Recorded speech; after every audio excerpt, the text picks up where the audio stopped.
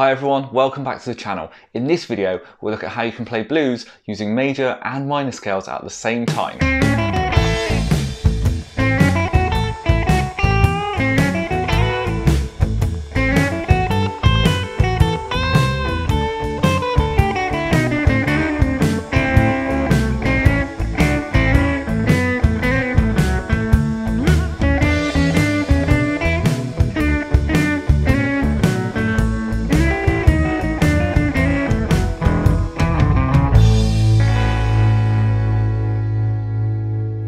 Common problem a lot of guitar players have is that when they play the blues, they're stuck just playing the minor pentatonic. But the real essence of the blues is about how you blend together both major and minor sounds. So what I want to show you in this video is something I call the double blues scale, which allows you to play both major and minor at the same time. Now this is something that people like Eric Clapton, Joe Bonamassa, Josh Smith use all the time, so it's pretty essential if you want to take your blues up to the next level.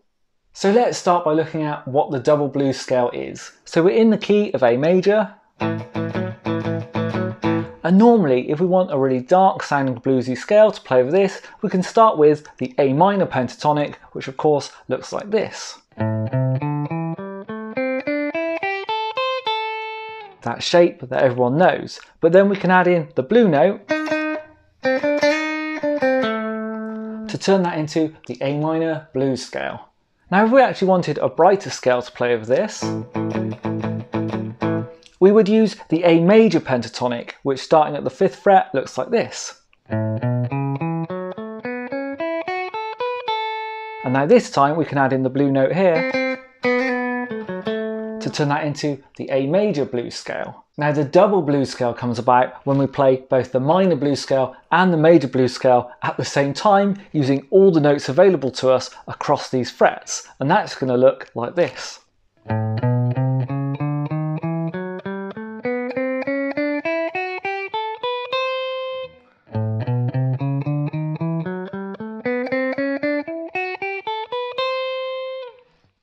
There's a lot of notes here, and this is not something that you're going to want to particularly run up and down the scale with, but it's about having access to all these notes to be able to pick and choose when you want to bring out a darker minor tonality versus a brighter major tonality. And so by using this double blues scale, you get access to a much wider range of sounds all at the same time. So now let's look at some techniques to put this scale into practice. And with the diagram, you'll see the brighter major scale notes in the light blue with the darker minor sounding notes in the dark blue. So let's start right in the middle with these two notes on the G string.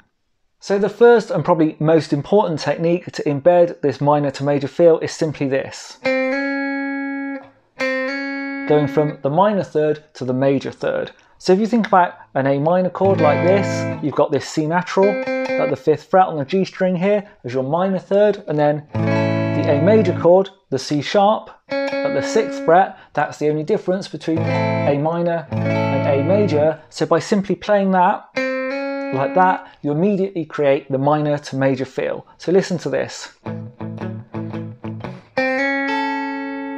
just with that really simple little riff there, I've created a little bit of blues feeling. And if there's only one thing that you take away from this video is to add a bit of that into your blues playing.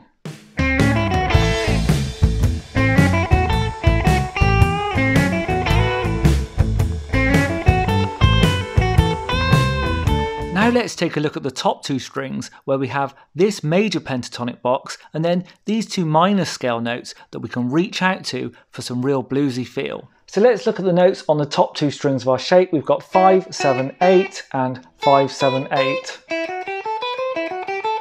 Now, if I just play 5, 7, 5, 7, I've got a little box there, and this is the primary pentatonic box from the A major scale, and a lot of the action from that scale is going to happen within these four notes.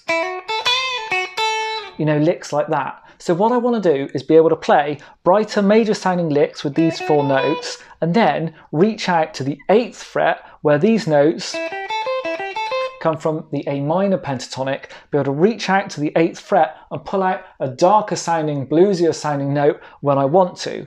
So if I look at what I played in the beginning, you heard something like this. So just look at that. I started with that little minor to major thing that we just looked at, and then straight into this box here. But then up to the 8th fret for a bluesier sounding note. And then again, I played that slide that's really bright sounding, you know, really major sounding, but then straight into pulling out that note at the 8th fret on the top E there for a more bluesy sound. So what you want to do is be able to play within that box there and just reach out into the 8th fret to pull out some bluesier sounding notes. To just have a practice with that.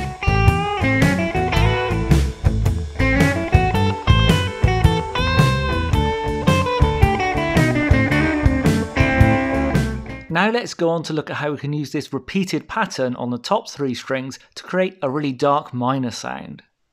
So the techniques we've looked at so far have been great for major tonality over the one chord, but now we're moving on to the four chord. I'm going to shift my way of thinking to a more minor tonality. So I'll be playing the same notes from the same scale, but just changing the way I think of it to bring out that darker sound. So what I play over the four chord is this.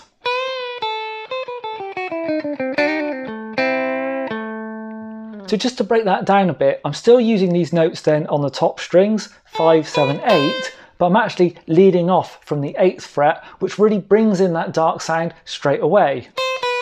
And what you'll see from our shape, we can play 8, 7, 5 on each of the top three strings. And this is really useful because we get this cascading triplets effect. A really useful technique to have there.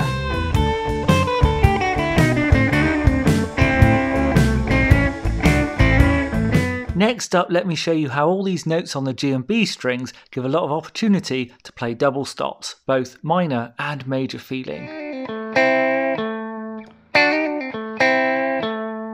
So what's going on here is because on these top three strings, we can all play at the 8th, 7th and 5th fret, it makes it easy to play two strings at the same time, double stops. So I could just play down the whole scale like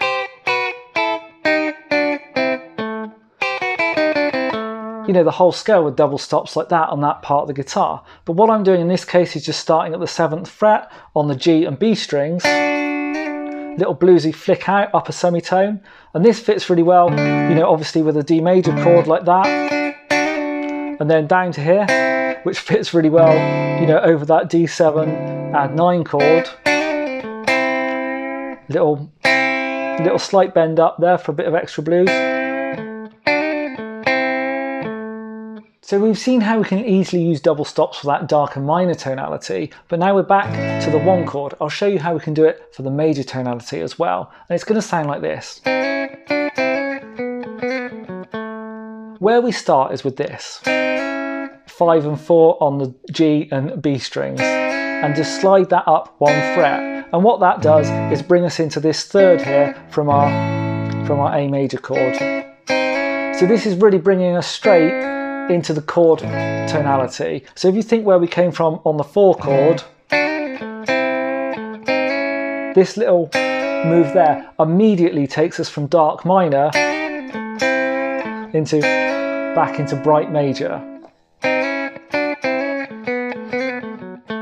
So up there, and then what we can do is play here at the seventh fret on the G and B strings, just bar that, and then really this is like, you know, from a D chord, so it's like going A, D like that. And then when I go back to the A, I'm just using a bar there at the fifth fret and hammering on on the sixth on the G string. And that's just the same technique as we learned right at the beginning, that technique. And then back to the root note.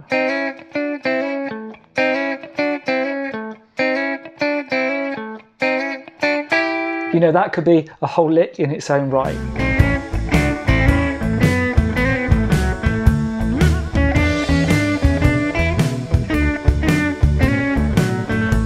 This penultimate technique shows how we can add some subtle blues flavour by just hinting at the blue notes from both the major and minor scales. So the major scale blue note comes up in this lick we've just been looking at.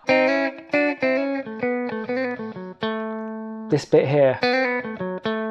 So what I'm doing here, fourth fret of the G string, all I'm doing is a quick slide up to the fifth fret for our blue note, and back down again.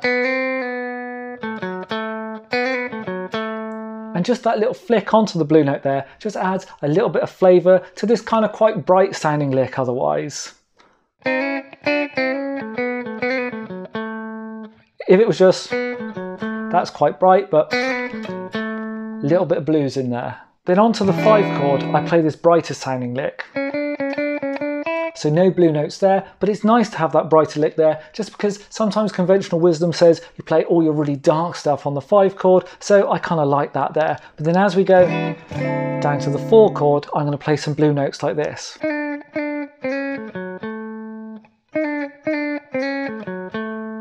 So what I'm doing there, here we've got the blue note mm. from the A minor scale, and all I'm going to do is flick off that eighth fret down to the seventh.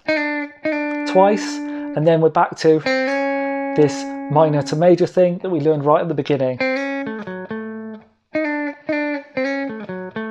So I'm not lingering on these blue notes, I'm just flicking off.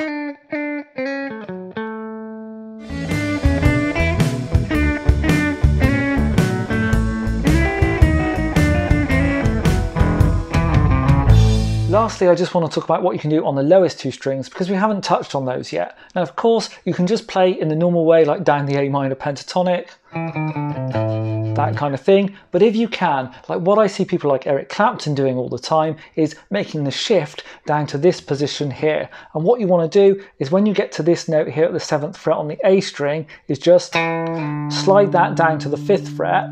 And what that does is gives you this box here that you can play in and then slide up to there if you need to. Now I talked about this in my five note pentatonic shape video, so watch that if you haven't. Um, but what you can do then is everything that we played on the D and G strings, like we were just doing those blue notes, I can then play that exactly the same there. So I think for my solo, I just ended on something like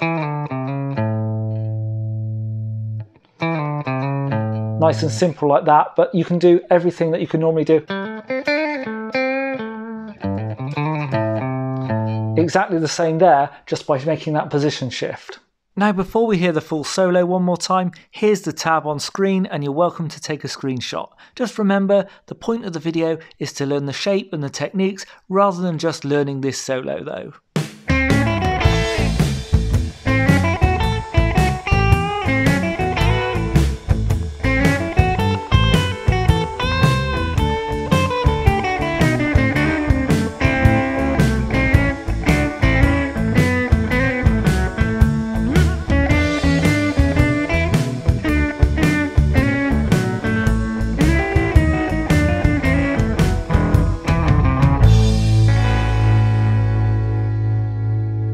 Hope you enjoyed this tutorial. If you want to see more like this, then try this video up here. But for now, thanks for watching and I'll see you next time.